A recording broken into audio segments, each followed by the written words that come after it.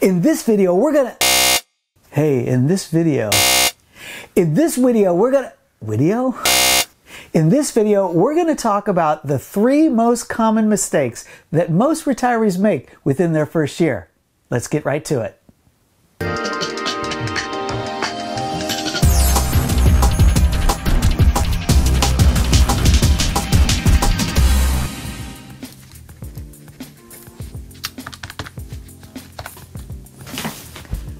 The first and most common mistake is only planning financially.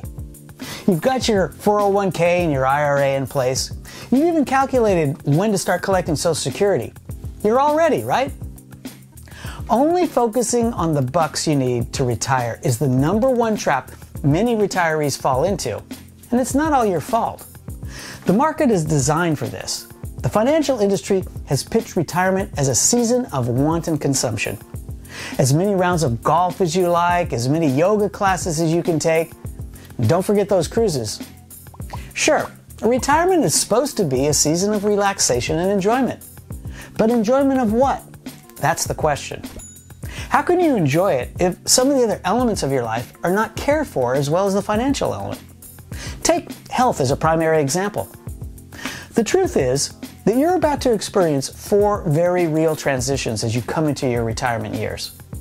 There's the financial transition, of course, but there's also a physical, social, and spiritual transition coming your way. Have you planned for those? If you haven't, I've got another video that'll help you right here.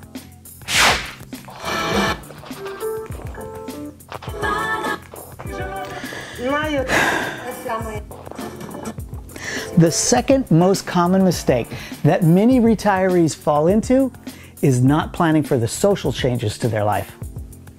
Work provides us with a built in social circle that we often take for granted until it's gone.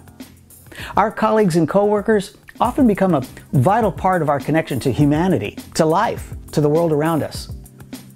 When that's gone, it's common to find our world much smaller, a bit quieter, a little less interactive. Don't fall for this trap. Realize that unless you're going to start an encore career, your social life will probably shrink a bit. So plan for it by developing some social circles outside of family who can stimulate you intellectually. You don't want all of your future conversations to be about that last TV series you just binged.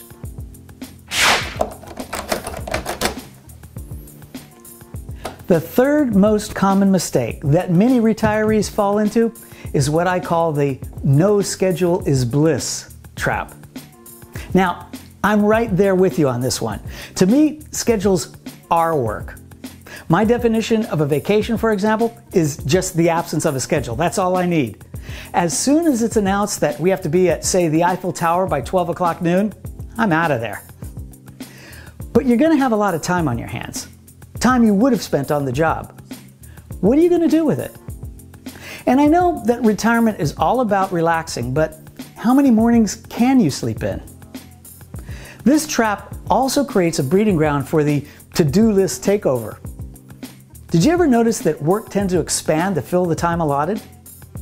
Have a three page memo you have to write in 60 minutes? Done.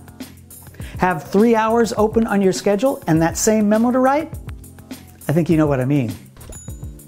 I've heard it from just about every retiree. I'm amazed at how long it takes just to get the daily chores done. Where did the day go? What are you going to do with all that extra time? This is really important.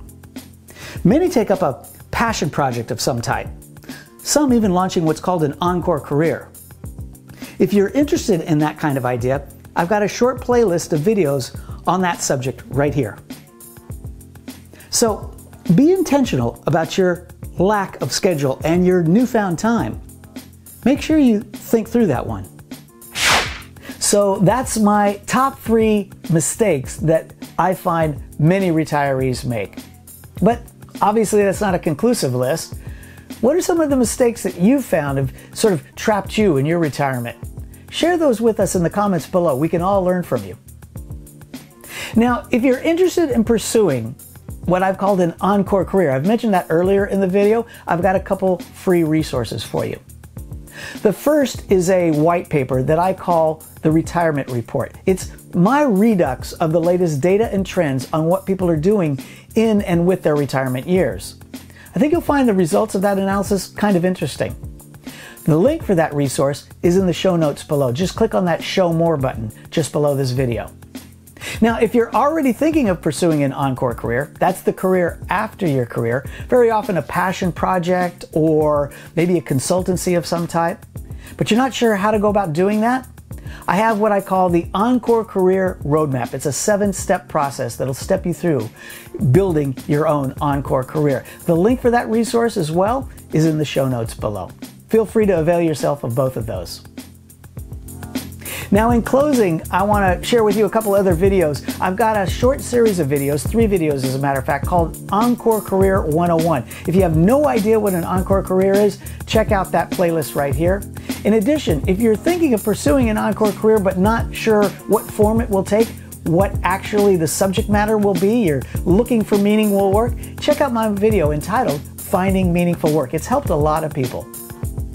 I'm Paul Peixoto with Whole Worker. Thanks for watching.